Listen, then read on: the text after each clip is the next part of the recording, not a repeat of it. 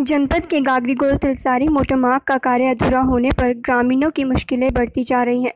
दरअसल यह सड़क प्रधानमंत्री ग्रामीण योजना के तहत बनाई जा रही है। 2011 से सड़क का काम चल रहा है, लेकिन आज तक सड़क का काम पूरा नहीं हो पाया है। सड़क के सेकंड स्टेज का कार्य बहुत धीमी गति से चल रहा है, जिससे यहाँ ग्रामीणों को परेशानी झेलनी पड़ रही है। सड़क नहीं होने से यहाँ के ग्रामीण स्वास्थ्य, सेवा व शिक्षा के लिए अन्यत्र पलायन करने को मजबूर हो गए हैं, लेकिन यहाँ रहने वाले गरीब लोगों की मुसीबतें लगातार बढ़ती जा रही हैं। मामले को लेकर गुस्साए ग्रामीणों ने इस समस्या को लेकर। जिलाधिकारी कार्यालय पहुँच, उन्हें अपनी परेशानियों से अवगत कराया। ग्रामीणों ने चेतावनी देते हुए कहा कि अगर अतिशीघ्र सड़क का कार्य शुरू नहीं किया जाता है तो समस्त क्षेत्र की जनता उग्र आंदोलन करने को मजबूर हो जाएँगी।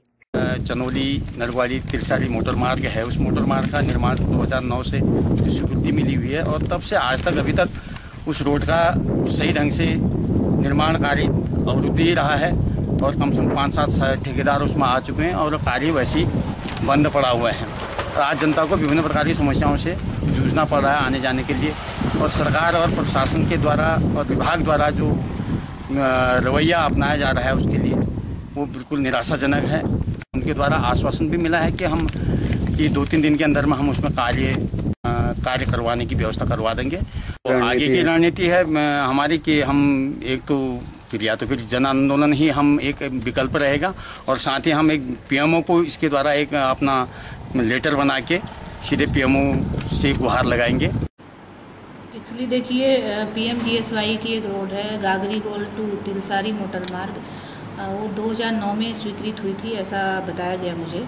और 2011 से उसका निर्माण कार्य शुरू हुआ, लेकिन अभी तक वो सड़क का निर्माण कार्य पूरा नहीं हुआ है और उसमें डामर इत्यादि कुछ भी नहीं हुआ है।